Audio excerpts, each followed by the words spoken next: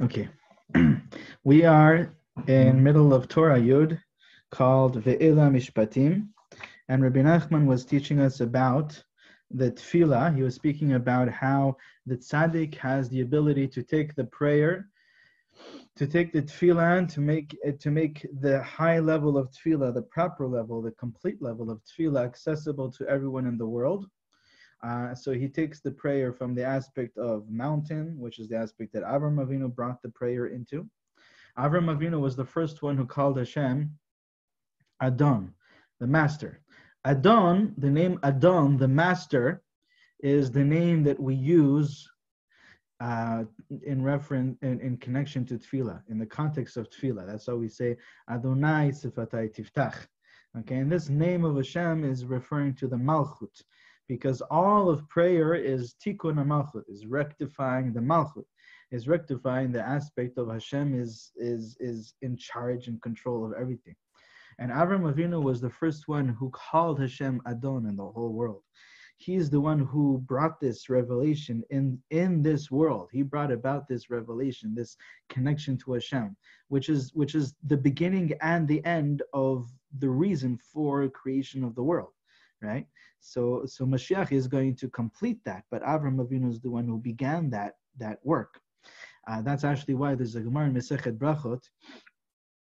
The Gemara in Mesechet Brachot Taf Mem Amud Bet uh, says over there that uh, that uh, halachically, if a person makes a bracha, you need to have two things in the bracha for it to be to be uh, to, for it to be counted halachically as a bracha.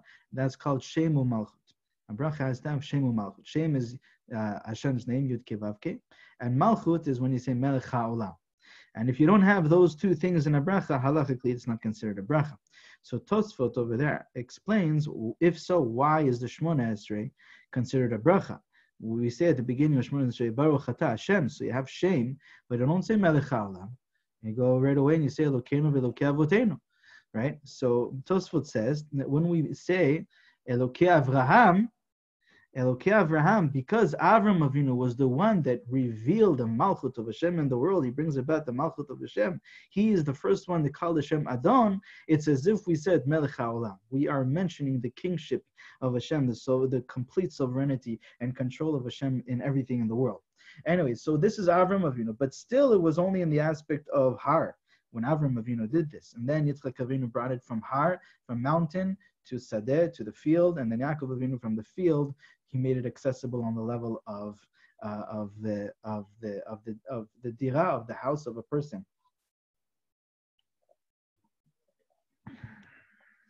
Of uh, house sadeh, bayit. These are the three things: house sadeh and bayit. So then Rabbi Nachman told us about how we need to bring our tefillot to the tzaddik, because the tzaddik, he is the one who's able to elevate our tefillot and to really complete them and fix them and rectify them so that our prayers are on this complete level, on this perfected level. And He's able to bring down the Shefa to us in this way. But then there's these uh, sinners that uh, that are that are cynical and they are full of doubt and they pr- bring everyone to doubt the tzaddik, and they say, "Why are you going to the tzaddik? We can also pray for you." And Rabbi Nachman told us about um, their deficiencies and how even though they may be fasting and they may be doing all these things in avodat Hashem, but they they still didn't rid themselves from the the negativity, from the deficiencies, spiritual deficiencies uh, in their in their physical body, not only in their physical body because of their own midah that they didn't fix, but even from their, their father, from their father, from what they were born with, they also did not fix that. Um, and that's what we were up to. Right. So Rabbi Nachman was telling us how he brings this pasuk. Vayomer lehem Yaakov avihem. He speaks about. He brings the pasuk in Bereshit, in uh, what was it? Parshat uh, Vayeshev, I think. Parshat Vayeshev, Parshat Vayeshev or Vayigash where where where the, the brothers when they're on their way back to Yaakov and they open up the their bags and they find they find the money.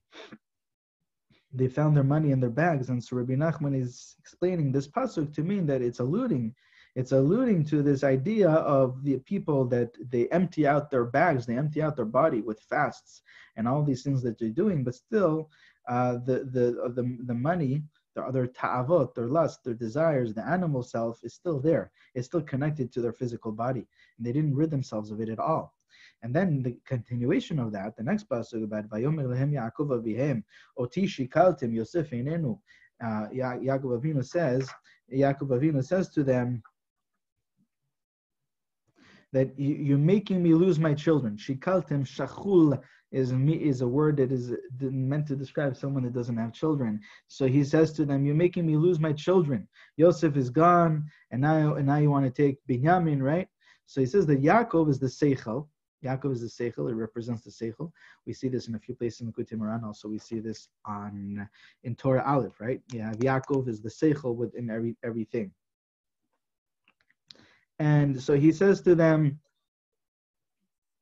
the seichel is saying is is giving tochacha. The seichel is giving rebuke, and he's telling these ba'alei gaiva, he's telling these people that are haughty, that are full of pride and ego.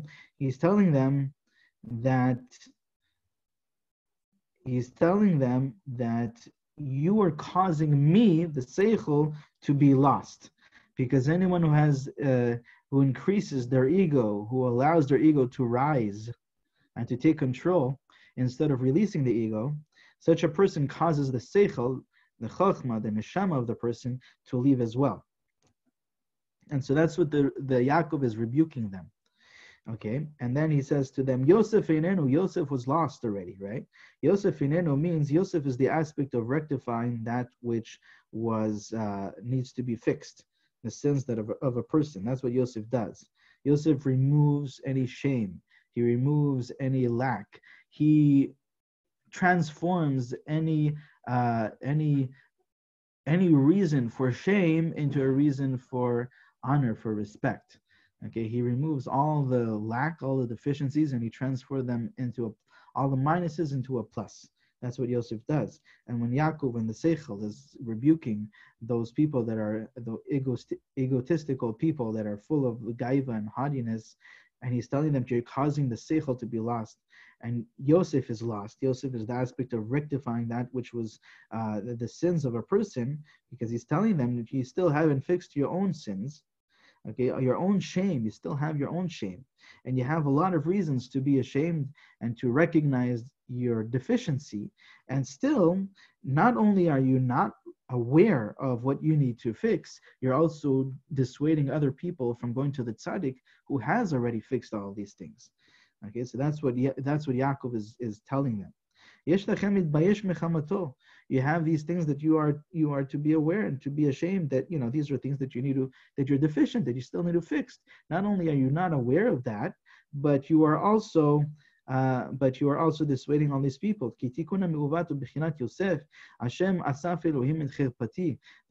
of, of uh, that which uh, needs the, the deficiencies of a person's the spiritual deficiencies, that's the aspect of Yosef because he removes the shame. He removes any any any need, any reason for shame. Shimon Einenu. Shimon was also not there because Shimon was held captive by Yosef, right? So what is that alluding to? Yosef, Shimon. Through this, that you don't have this aspect of Yosef, okay, you also don't have the aspect of Shimon. What does that mean? What's the aspect of Shimon? So Yosef, we know what's the aspect of Yosef. Yosef is, ficti- is rectifying the person's sins. A person has sins. A person has things that are he would rather he did not have in his past. Okay, these are things that are not the most um, uh, and he said most glorifying moments of a person's life. They're not the most glorifying moments. Again, and a person needs to fix those things. And Yosef is the aspect that fixes that. Yosef removes those things. That means that a person does not have to live with the shame and guilt of the past. Not only that, actual tikkun habrit, a proper tikkun habrit, is when a person releases the shame and the guilt of the past. Okay, there are a few ways that a person does that. Um, in tshuva, we have this thing called re- charata. Charata is not the simple translation is regret, but Kabbalistically, on a deep, deeper level, it's a lot more than just regret. Regret it sounds like you are to constantly regret it and constantly feel um, guilty and ashamed about it. But that's not really spiritually, that's not really constructive. It doesn't really help a person spiritually.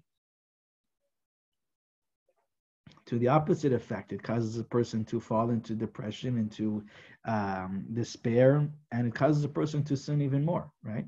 Uh, any um, any any person who became a real addict in something, it's because they enforced their their their their identi- identifying with themselves as an addict as much as a person sees themselves as having all these terrible things in their past, then they will just continue falling into those things. So then what's charata? Charata, the word charata in Hebrew, the word itself, the shoresh, where that word comes from, it means to it means to not to cut out, but to carve out. Charata means to carve out. So what does that mean? That means that when a person has charata, the regret is only there for a moment to recognize which parts of your past you want to carve out. Okay? Charata is only for the time when you go and you do the work, the inner work of teshuva, and you get into a meditative state and you're doing cheshbon nefesh, right? You're you're paying attention to your past and to the, the the actions, the words, the thought patterns, the belief systems, the attitudes, and the ways of being, the ways of living that were not in alignment with what Hashem wants us, how Hashem wants us to live. They were not alignment with the Torah, and you identify them clearly. And because you are regretting those things, because you are accepting the will of Hashem, Kabbalat Ol Malchut Shamayim, and you no longer want to live in those ways, so that's where the regret comes in. Now you need to carve them out. And by, and by carving them out, what does that mean? You need to revise your past. You need to revise your past and you have to imagine as if that past did not happen. You have to go back into your timeline. Okay, there's something even uh, there's a whole therapy called timeline therapy connected to NLP. But this is all in the Torah. This is all it of the Torah, where that's why teshuva is kabbalistically the world that is above time okay because it's the ability to go above and to revise your timeline. You need to go back and now with your charata with your regrets and you are able to carve out those scenarios those situations and you need to replay your past in a way that does not have all of those uh, stories those negative stories in there. And that will affect the, the present moment. And then the person will be freed from that past Okay, and that's why Teshuvah, the world of Teshuvah, which is Kabbalistically the world of Bina, in the Zohar is called Alma Decheu. It's the word world of freedom. And that's the world that, that causes freedom. You're no longer held down by the sins of the past. Anyways, how did I get into this? So this is what Yosef does. This is the aspect of Yosef. Yosef is asaf Elohim cherpati. He gathers and removes all of the reasons for shame and guilt in a person. Right. That's why the chakra, the root chakra of the Yesod, is it, rectifying that is connected to releasing any guilt and shame. Okay, that's what Yosef comes and does. So now he says that because you don't have Yosef, you also don't have Shimon. What's Shimon? So he says Shimon is the aspect of Shimon hu bechinat kishama Hashem kisenua anochi. Okay, because Hashem heard. What? Did, why? Why did she call Leah called her son Shimon? Because Hashem heard that I was, I was, um, that I was despised in the household. She was not the most beloved wife among all the wives. She was not the most beloved. Rachel was obviously a lot more beloved to to Yaakov. Kishama Hashem kisnua anochi. Because Hashem heard that I am despised. So what does that mean? Says Rabbi Nachman, it means that the tzaddik or the seichel or neshama is rebuking those egotistical people that are dissuading people from going to, to the tzaddik to pray for them, and he's and he's telling them, look, you don't have Yosef, you didn't fix your past. You also don't have Shimon. What does it mean you don't have Shimon? you don't have this aspect of hearing and th- and recognizing that people despise you, people don't like you. What does that mean? Why is that why is that a bad thing? I would think it's a good thing that people don't despise you. But says Rabbi Nachman, no. כי אתה אינך שנוא, כי מחמת שלא תיקנת את עצמך, בוודאי אינך יכול להוכיח אחרים, כי אמרו לך קשוט עצמך תחילה, ועל כן אינך שנוא, כי המוכיח הוא שנוא, כמו שאמרו חכמינו זיכרונם לברכה, היי צור בה מרבנן דמרחם עלי בנמטה, למה משום דמעל תפה, אלא משום דלא מוכח לו במילי דשמיא. נמצא שהמוכיח הוא שנוא. He says to them, he says, you're not hated, you're not despised, everybody loves you. So why is that a bad thing? Explains Rabbi Nachman, because if you had fixed your past, then you would be on the level that you would able to rebuke others for their wrongdoings. Because if a person did not fix their past, and the person has all these sins in their in in their in their pekel, in their backpack, he's carrying all these sins around with him, and then he tells somebody, he tells somebody, uh, like the Gemara says, the Gemara brings this expression. If he tells somebody, take out the, take out this, uh, this, how do you say, cuts, take out the thorn from between your teeth. So then he will answer you, take out the beam from between your eyes, meaning that that um, what's this? What's there's an expression in English about it? Uh, practice what you preach, right? Um, there's a lot of these expressions something about there's something about the greenhouse. What was it? The glass, the glass roof, or something like that. Uh, I don't remember it right now. The glass house. People in glass houses should not throw stones.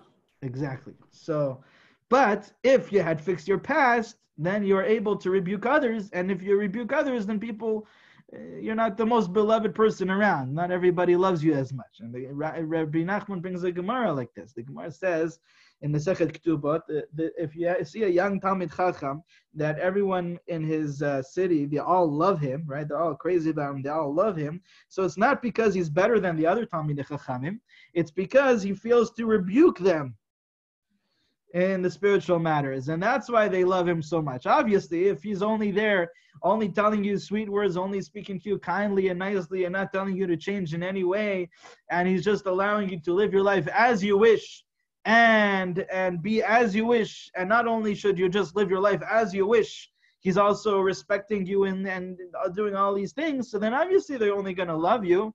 But if you have a time chacham yes he respects you. And yes he speaks to you nicely. And yes he speaks to you kindly. And yes he gives you chizuk like rabbi nachman says is so important in giving proper rebuke is that you should strengthen the person. You shouldn't break them down. But he's always uh, telling me to fix this and telling me to fix that. Yes, he's telling me in a nice way, but because he's telling me to change the way I'm living my life, he's not the most loved person. You know, maybe if I see him in the street, maybe I want to go another way. I don't know. So that's the Shimon Einenu. Because you don't have Yosef, you also don't have Shimon. Shimon is that you are not uh, you're not always the most loved by everybody because you're able to rebuke them because you've come to the level of tzaddik and you have rectified your past. Ve'et binyamin tikachu, and now you want to take binyamin. What does this mean? Ze al gadlut. This indicates uh, gaiva. Why? כי פירש רש"י בנימין על שם ארץ ישראל, בנימין, וארץ ישראל הוא גבוה מכל הארצות. Binyamin alludes to, as we know, Benjamin, Rashi says, is on the name of Eretz Israel. Ben Yamin, Eretz Israel is Yamin, is a place of Chokhmah, which is Yamin, the side of the right. And um, and Eretz Israel is higher than all the other places in the world. And therefore, Eretz Israel represents this aspect of being higher than, above, and over everyone else. And so, you want to take this aspect of being greater than everyone else? you are not worthy of feeling yourself greater than everyone else with, with uh, these deficiencies that you have.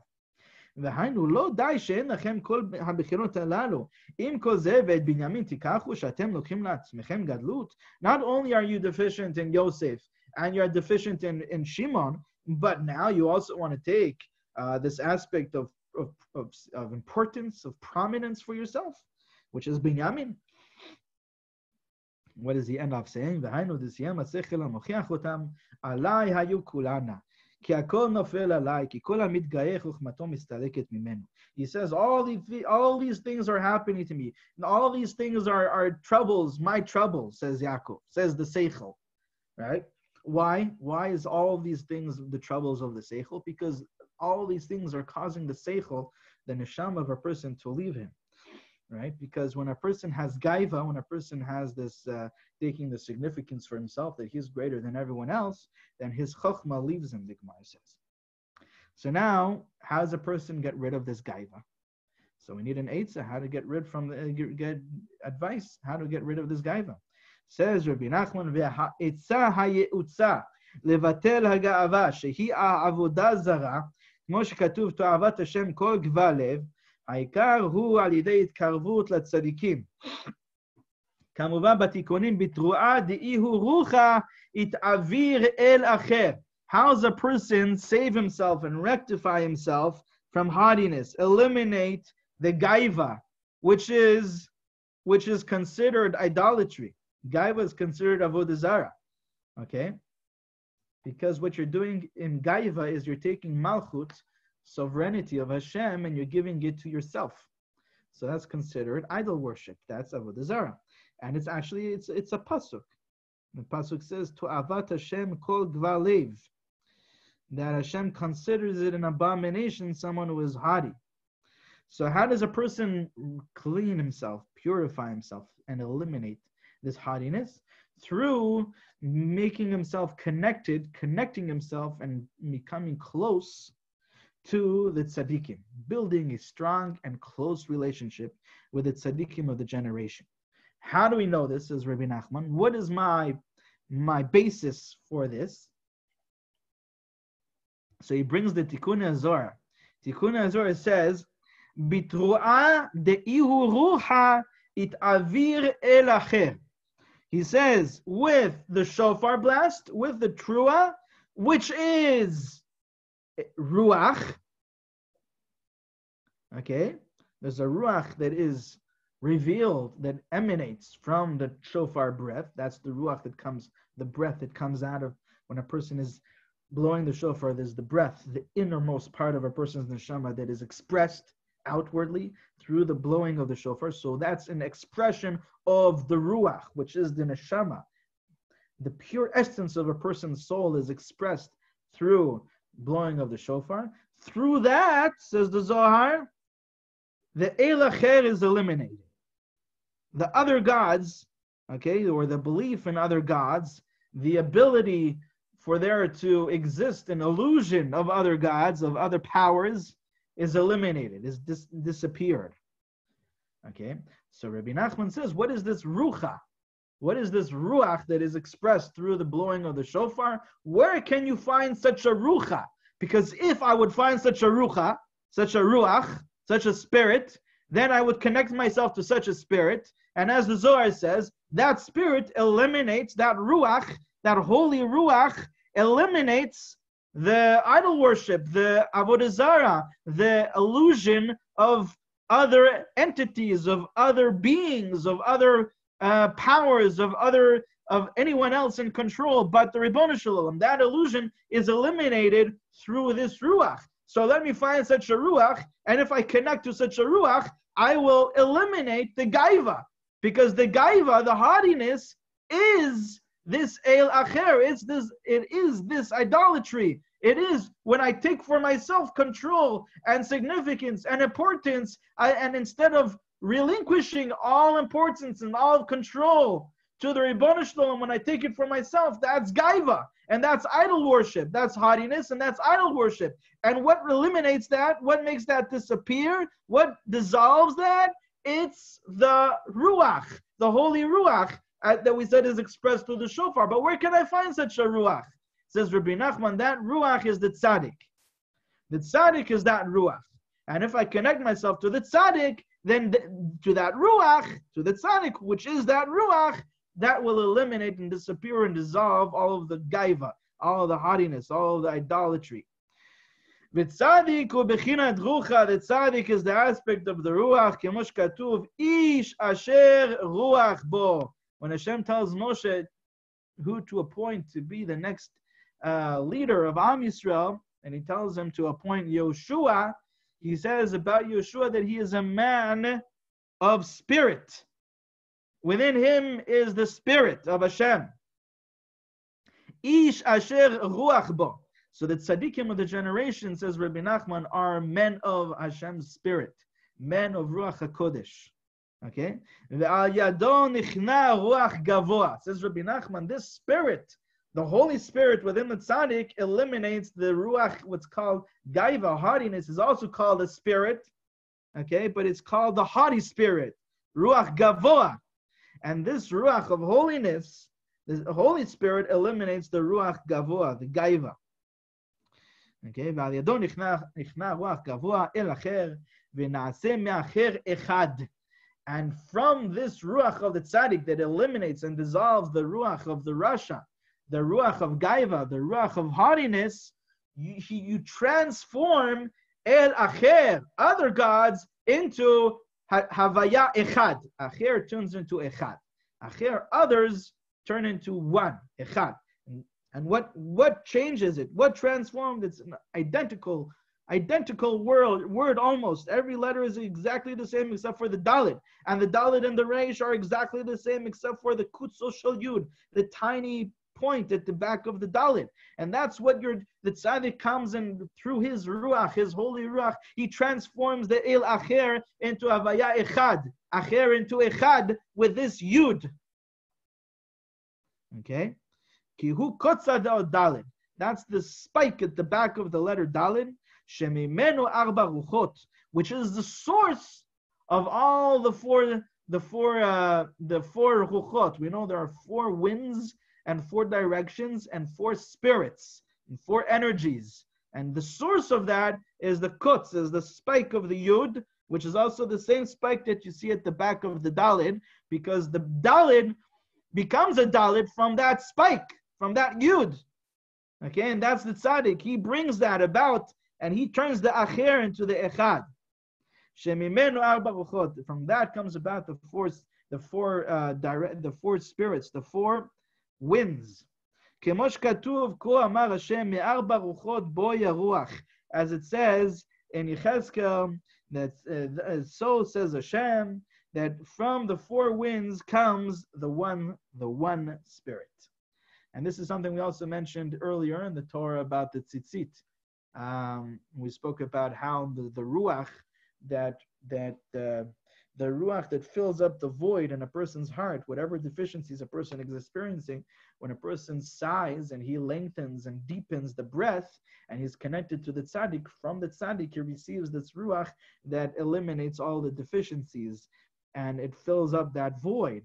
And we said in that Torah that that's the aspect of that ruach is the source for the four sides, the four um, the four elements of the world, the four letters of Yud Vavke, which is represented in the four sides of the tzitzit, the four tzitzit, that the four corners of the tzitzit, right? And so that's this ruach.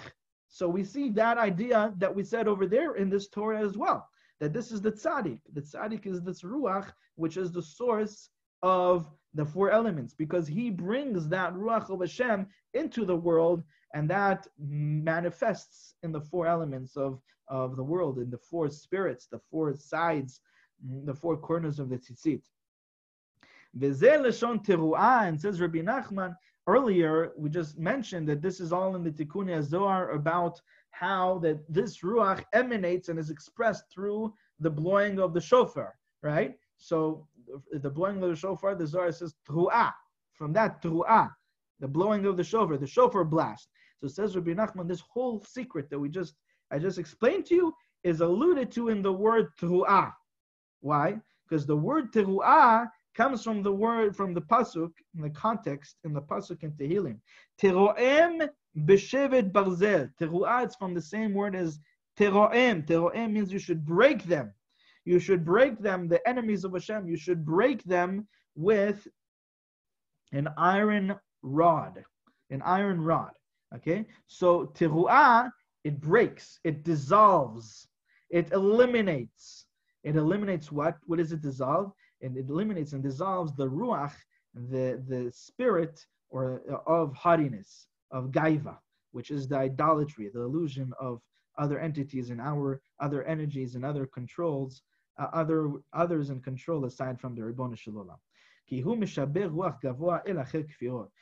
the ruach of the tzaddik, the holy ruach of the tzaddik, eliminates this haughty spirit, the spirit of the other gods, the illusion, uh, the illusions of other gods, and the belief system, the atheistic, the atheist uh, belief system. Okay, I think we should stop here for today. Yeah, let's see here.